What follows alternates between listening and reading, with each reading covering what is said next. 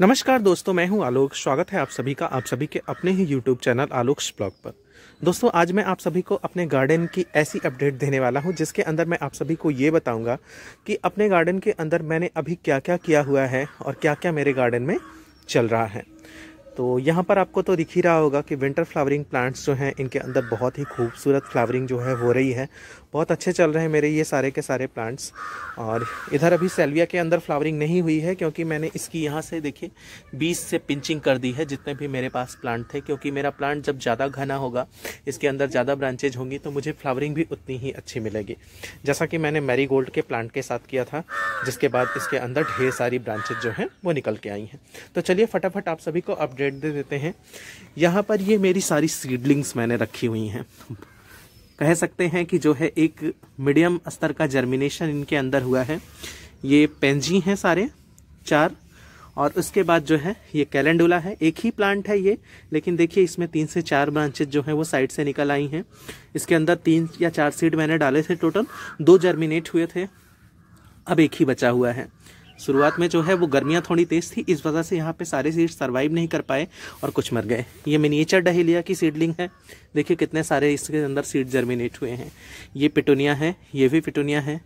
यहाँ पर जो है आपको दिख रहा है, ये भी पिटोनिया है और इससे काफ़ी सारे जो है निकाल कर मैंने रिपोर्ट भी कर लिए हैं।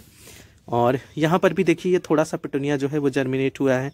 यहाँ भी और यहाँ भी एक दो प्लांट ऐसे हैं जो रिपोर्टिंग के लिए तैयार हो गए हैं। उसके अंदर भी पिटोनिया है, यहाँ पर भी पिटोनिया मैंने पिटोनिया बहुत सारे जर्मिनेट कर लिए हैं। वो आपको जो दिख रहा है, उसके अंदर तो बहुत ही हैवी जो है, वो जर्मिनेशन हुई है और खूब अच्छे से जो है यहाँ पर जो है, सारी सीडलिंग्स जो हैं, वो चल रही हैं। मैक्सिमम मैंने जो है, वो पिटोनिया को ही सीडलिंग से ग्रो किया है और कैलेंडोला को कैलेंडोला की कुछ रिपोर्टिंग भी मैंने कर ली है।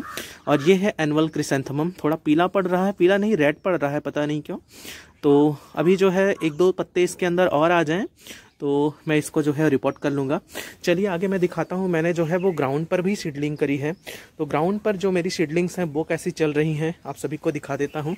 ये देखिए मेरे मिनिएचर डहलिया के अंदर जो है वो फ्लावर भी आ गए, और रेड कलर का इसका जो फ्लावर आया है, ये देखने में बहुत ही ज़्यादा खूबसूरत लग रहा है। और दोस्तों, यहाँ पर ग्राउंड पर मैंने जो है जो सीडलिंग्स की हैं, वो आप सभी को दिखा देता हूँ। ये देखिए मेरा कैलेंडोला जो है एक, दो, तीन, चार चार से पाँच प्लांट कैलेंडोला के और अभी कुछ कुछ इनके अंदर जर्मिनेशन हो ही रही है। काफ़ी टाइम से जो है मैं इधर आ नहीं पाया और मैं इनको वाटर नहीं प्रोवाइड कर पाया। इस वजह से जो है अभी सीडलिंग्स नहीं हो पाई। बाकी देखिए एनुअल क्रिसेंथमम यहाँ वाला बिल्कुल भी रिपोर्टिंग के लिए तैयार हो चुका है। ये इधर जो आपको दिख रहा है एनुअल क्रिसेंथमम के जस्ट बगल में, कुछ वेट्स भी इसके अंदर निकल आए हैं। इनको भी निकालना है मुझे, लेकिन टाइम ना मिलने की वजह से गार्डनिंग का काम करो कि फिर साफ़ सफ़ाई करो, समझ नहीं आता। यहाँ पर जो है फ्लॉक्स के सीड्स हैं, ये सारे जो जर्मिनेट हुए हैं, और बहुत ही हैवी जर्मिनेशन हुई, आप सभी को दिख रहा होगा। ये हॉली हॉक है। हॉली हॉक भी जो है बहुत अच्छी जर्मिनेशन हुई थी, लेकिन पता नहीं कैसे जो है इधर जब धूप थोड़ा तेज हुई तो कुछ मर गए प्लांट इनके, लेकिन जितने भी हैं, जितने भी जर्मिनेट हुए हैं, ये काफ़ी हैं इनको रिपोर्ट करने के लिए। कम से कम कुछ नहीं तो फिफ्टी प्लांट्स जो हैं, वो होंगे ही। यहाँ पर ये जो है, ये बारकी कोम है, जो ये बारीक बारीक बिल्कुल दिख रहा है, ये ये।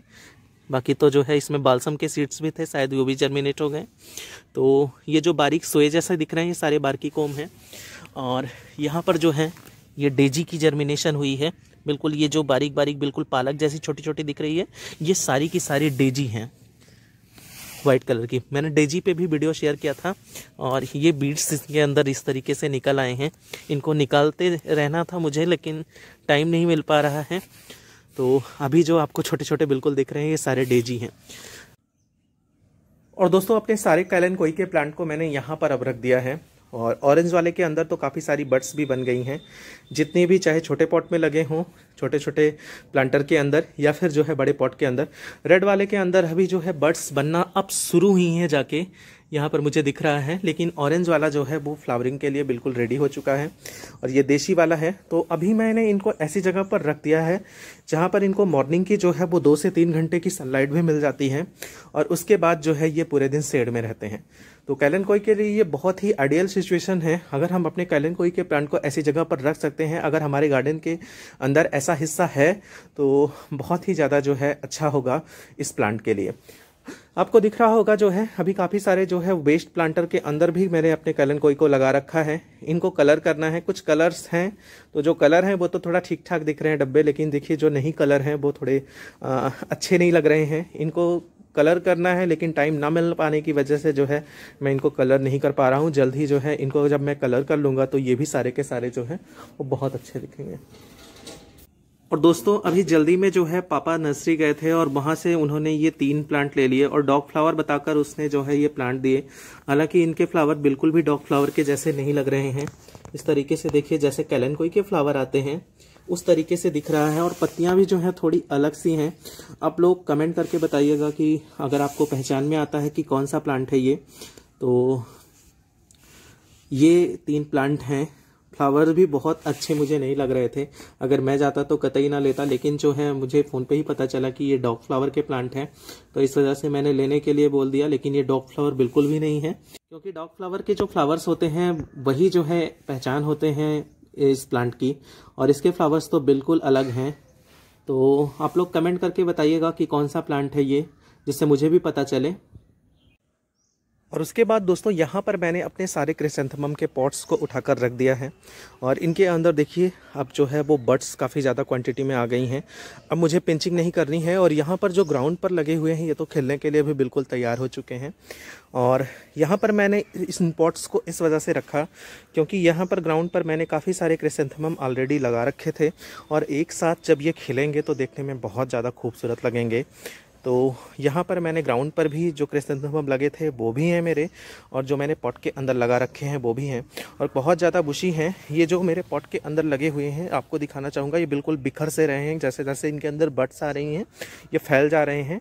तो अगर मैं जो है इनके किनारे किनारे एक हैच बना दूँगा, जो है वो बाँस की फट्टी से और उसके बाद जो है डोरी वगैरह लगा के तो ये बिखरेंगे नहीं और देखने में बहुत ज़्यादा खूबसूरत लगेंगे। तो अभी ये चूँकि फ्लावरिंग करने वाले हैं और बर्ड्स इनके अंदर आ रही है तो अब इनकी केयर भी ज़रूरी है हमको। इनको अच्छे से इनकी बर्ड्स खेल जाएँ, इस वजह से हमको इनको मस्टर्ड केक का लिक्विड फर्टिलाइज़र जो है वो देते रहना है। तो ये है क्रिशंथमम की अपडेट और यहाँ पर जो मैंने अपने पिटोनिया जो है, जो रिपोर्ट किए हैं छोटे छोटे ग्लास के अंदर देखिए, उनको रखा हुआ है। और ये बहुत अच्छे जो हैं, अब ग्रोथ पे आ रहे हैं। शुरुआत में जो कि मैंने सीडिंग जो करी थी, वो मिट्टी और जो है कंपोस्ट मिलाकर करी थी तो इनकी जड़ें जो थी, वो थोड़ी थोड़ी डैमेज हो गई थी। इस वजह से ये थोड़े शौक में थे। एक एक दो दो पत्तियाँ आपको पीली नज़र आ रही होंगी। लेकिन अब ये बहुत अच्छे जो है वो चल रहे हैं। तो अब इनको मैंने थोड़ा सनलाइट एरिया जहाँ पे थोड़ा बहुत सन, सनलाइट आती है, वहाँ पर प्लेस कर दिया है। और ये मैंने फिर से निमेशिया की शेडलिंग की है और इस बार मैंने थोड़ा अलग ढंग से किया है। तो देखते हैं कि इसके अंदर कितना ज़्यादा जर्मिनेशन हो पाता है। हालाँकि जो है, मुझे आज इसके अंदर जो है एक यहाँ पर और एक यहाँ साइड में जो है, वो दिख रही है जर्मिनेशन फ़िलहाल देखते हैं क्या है ये। तो फिंगर क्रॉस्ड कि जर्मिनेशन होती है कि नहीं? नहीं होती इस सीज़न तो नेक्स्ट सीज़न में ज़रूर लगाऊँगा। और दोस्तों, दहरिया के बेबी प्लांट में लेके आया था। उनको इस तरीके से मैंने जो है वो ग्राउंड पर लगा दिया है। कुछ प्लांट बहुत ही छोटे थे तो वो कुछ मुरझाए से हैं। हालाँकि जो प्लांट थोड़े बड़े थे, वो अब शौक से बाहर आ रहे हैं धीरे धीरे करके। और यहाँ पर जो है मैंने प्लांट को लगाने से पहले अच्छे से मिट्टी की गुड़ाई करके इनके अंदर कंपोस्ट भी मिला दिया था, जिससे कि ये प्लांट हमारे अच्छे से जो है वो सर्वाइव कर जाएँ। और यहाँ पर जो है मैंने अपनी कुछ कटिंग्स वगैरह रखी हुई हैं, जो कुछ जो है वो चल गई हैं, जिनको रिपोर्ट करना है और टाइम ना मिल पाने की वजह से मैंने कर नहीं पा रहा हूँ। और ये पाइन का ऊपर का पार्ट जो होता है, उसके अंदर रूट आई हुई थी तो मैंने इसको भी लगा लिया है। और ये देखिए, जो है मैंने एक येलो कलर के, एक जूरा की कटिंग लगाई थी। ये कटिंग भी सक्सेस हो गई है। देखिए, इसके अंदर नई जर्मिनेशन आ गई है। और ये आसपास की इसकी जो है, इसके अंदर भी मुझे ग्रीन कलर के जो है, फुटाव दिख रहे हैं। तो ये भी जो है वो चल जाएँगे। तो इधर मैंने अपनी सारी कटिंग्स रखी हुई हैं और ये हैं सारे इंडोर प्लांट्स जो यहाँ पर रखे हुए हैं और अभी ये बहुत अच्छे चल रहे हैं। कल मैंने अपने इम्पेशंस को रिपोर्ट किया है और इनको रिपोर्ट करने में लगभग चार घंटे से ज़्यादा का समय लग गया। ऐसा क्यों हुआ? क्योंकि पहले तो मैंने आप सभी को दिखाया था कि ये सारे के सारे रेड कलर की जो है मिट्टी जो होती है, उसके अंदर लगे हुए थे। लेकिन रेड मिट्टी के साथ साथ जो सबसे बड़ी समस्या थी कि ये प्लांट जो है इस तरीके के बॉस्केट में भी लगे हुए थे। जब हमारे प्लांट ऐसे बॉस्केट के अंदर लगे होते हैं तो उनकी रूट जो है, वो अंदर की साइड में बाउंड हो जाती है और प्लांट अच्छे से ग्रोथ नहीं करता और एक टाइम के बाद मर जाता है। तो तीनों प्लांट मिलाकर इतने सारे जो है बास्केट मैंने आराम से कट कट करके निकाले, फिर भी जो है इतनी रूट जो है, इनकी बेकार होकर निकल गई। मुझे पता है कि मैंने एक रिस्क लिया है, क्योंकि इम्पेशंस के जो प्लांट होते हैं, इनके साथ जो है इस तरीके से करना किसी रिस्क से कम नहीं है, वो भी इस टाइम पर। लेकिन फिर भी जो है, अगर मैं इनको ऐसे ही बास्केट के अंदर लगा हुआ छोड़ देता तो एक टाइम पर इनका मरना तय ही था। तो मैंने सोचा कि जो है, अगर मैं इनको रिपोर्ट कर रहा हूँ तो एक बार रिस्क ले ही लेते हैं। तो मैंने जो है पूरी रूट बॉल्स को ओपन कर दिया और जो है बास्केट को कट करके निकाल दिया। मुझे आशा है कि मेरे प्लांट बच जाएँगे और आप लोग भी प्रे करिएगा कि ये बच जाएँ। तो ये है मेरे गार्डन के अंदर की कुछ अपडेट्स कुछ सीडलिंग्स कटिंग्स और जो है न्यू रिपोर्टिंग अभी मुझे जो है अपने बिगोनिया को रिपोर्ट करना है और जो न्यू प्लांट लेके आया हूँ, उसको भी रिपोर्ट करना है। कैसी लगी आपको ये वीडियो कमेंट करके ज़रूर बताइएगा।